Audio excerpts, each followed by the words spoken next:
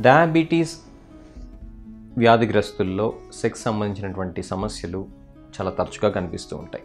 కాకపోతే మన సొసైటీలో సెక్స్ గురించి మాట్లాడుకుంటూ అనేది చాలా సర్వసాధారణంగా జరిగేటువంటి విషయం కాదు కాబట్టి చాలామంది ఈ యొక్క వ్యాధి బారిన పడినా కూడా వాళ్ళకు ఉన్నటువంటి సెక్స్ సమస్యలు వాళ్ళ యొక్క డాక్టర్ దగ్గరికి వెళ్ళి చెప్పుకుంటానికి సంకోచిస్తూ ఉంటారు. ఈ సందర్భంలో నేను చెప్పేది ఏంటంటే డయాబెటీస్ కనుక ఉన్నట్లయితే అంగస్తంభన కానీ లేకపోతే శీఘ్ర స్ఖలనం కానీ ఇటువంటి సమస్యలు కనుక ఉన్నట్లయితే మీ యొక్క డాక్టర్ దగ్గరికి వెళ్ళినప్పుడు మీరు ప్రైవేట్గా ఈ సమస్యలు కనుక డిస్కస్ చేసినట్లయితే డాక్టర్ గారికి తత్సంబంధమైనటువంటి పరీక్షలు చేసి అవసరమైతే దానికి సంబంధించినటువంటి సరైనటువంటి చికిత్స ఇచ్చేటువంటి ఆస్కారం ఉంటుంది. ఇది సిగ్గుపడేటువంటి విషయం కాదు అలానే దాచిపెట్టుకోవాల్సినటువంటి సమస్య అంతకన్నా కాదు.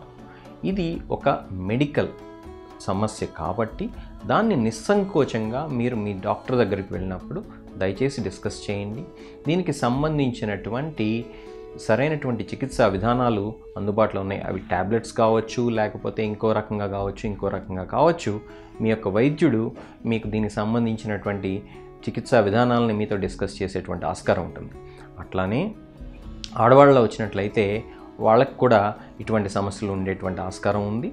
వీటిని కూడా నిస్సంకో నిస్సంకోచంగా వాళ్ళు వాళ్ళ యొక్క డాక్టర్ దగ్గర డిస్కస్ చేసి దానికి సంబంధించినటువంటి చికిత్సా విధానాల గురించి తెలుసుకోవాల్సినటువంటి ఆవశ్యకత ఎంతైనా ఉంది.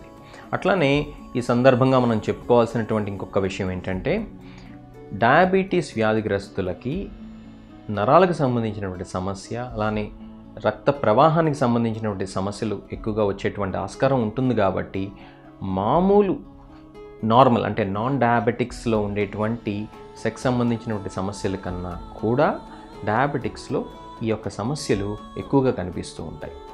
ఇవి కొన్ని కొన్నిసార్లు ముందు ముందు వచ్చేటువంటి హార్ట్ అటాక్ రిస్క్ను కూడా తెలిపేటువంటి ఆస్కారం ఉంటుంది.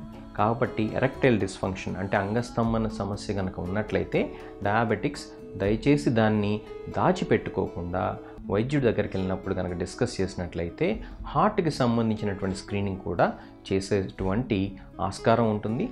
దాని ద్వారా ముందు ముందు గుండెకి సంబంధించినటువంటి సమస్యలు రాకుండా నివారించగలిగేటువంటి ఆస్కారం ఉంటుంది.